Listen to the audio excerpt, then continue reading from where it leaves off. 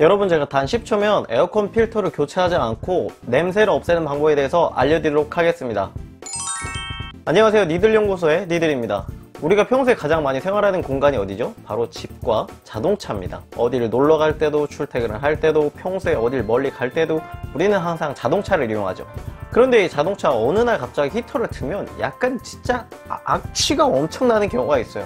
이건 무슨 곰팡이 냄새도 아니고 무슨 얼룩 냄새도 아니고 막 이상한 냄새 나잖아요. 무슨 썩은 냄 그럴 때 우리는 그렇게 생각합니다. 아, 이제 에어컨 필터 이런 게 조금 다 돼가지고 그래서 이렇게 냄새가 올라오나 보다.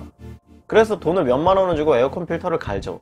에어컨 필터를 갈았는데도 불구하고 에어컨 냄새가 다시 나는 경우가 있단 말이에요. 이게 왜 그러냐면 자동차 그 냄새 같은 경우는 필터 문제도 있지만 그 공기가 나오는 그 부분에 세균과 곰팡이 이런 게 번식돼 가지고 그런 것 때문에 냄새가 나는 경우도 상당수 존재합니다.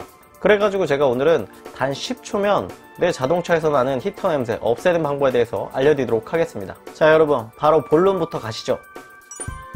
손가락 몇 번만 움직이면은 자동차 히터의 그 막 엄청난 냄새들 있잖아요. 다 없앨 수 있습니다. 자동차에 보면 외부 공기를 못 들어오게 하는 버튼을 누르시고요. 히터 온도를 최대로 올리세요. 최대. 이 히터가 나오는 이런 부분들 있잖아요. 다 막으세요. 자동차에 있는 히터 나오는 부분을 다 막아버린 다음에 그 다음에 히터를 최대한 풀파워로 트세요. 여기서 중요한 거는 히터를 최대한 세게 그리고 가장 뜨겁게 그리고 내가 히터가 나오는 데들은 다 전부 막아야 됩니다.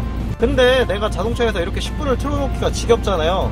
그러니까 평소에 내가 운전을 하다가 아 히터 냄새를 없애야 되겠다 생각을 하고 자연스럽게 운전을 하면서 한 10분 정도 가동을 시켜놓으면 되는 겁니다. 자 영상 잘 보셨나요? 여기서 가장 중요한 거는 외부 공기 유입을 차단시켜 놔야 됩니다. 그리고 히터를 가장 뜨겁게 그리고 가장 세게 틀어놓고 히터가 나오는 방향을 모두 다 막아야 돼요. 앞뒤 뭐 열려있는 건 다 막아야 됩니다.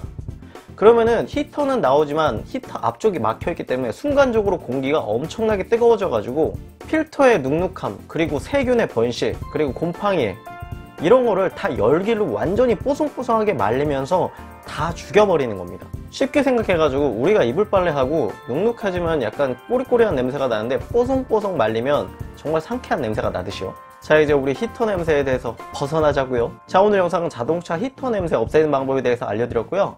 다음에 더 좋은 영상 있으면 찾아뵙도록 하겠습니다. 감사합니다.